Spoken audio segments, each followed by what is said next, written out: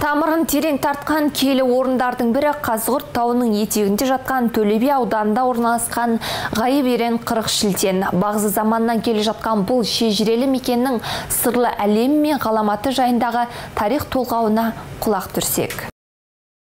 Алпамыс батыр жырында ғайып ерен қырық шілтен жайында жазылған деректер бар. Батырға атса оқ өтпеді шапса қылыш кеспеді ғайып ерен қырық шілтен қолтықтан сүйеп демеді деген жыр жолдарының өзі бұл мекеннің қасиетін аңғартады.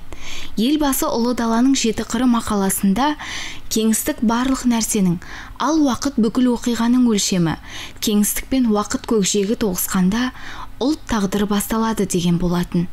Ұлт тағдырында тылсымнан сыр шерткен әулие кісілердің орны қашан да биік. Біз енді мына зиратқа осы жерден басталып шығарылады ескертетін жағдай ер кісілеріне темекіні аспай есік қоныстан аулақ болсын деп осында тастатқымыз кетеміз. Сосын әйел балдары бел бұзылған кезде шықпайды әулиеге таза шығамыз.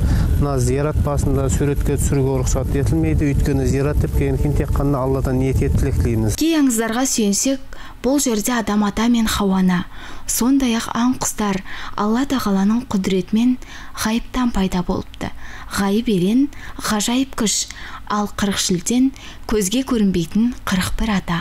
Бұл енді мына бүткіл жерден шығатын жеміс жидектердің құрметіне ниет етіледі. Бұл жерден өткен кезде жаңағы жемісіміз мол болсын ұрпақтан ұрпаққа жеміс өтейік деп тілек тілеп өтеміз. Әулие басында тастардың арасынан өсіп шыққан бір түп киелі тұт ағашы бар.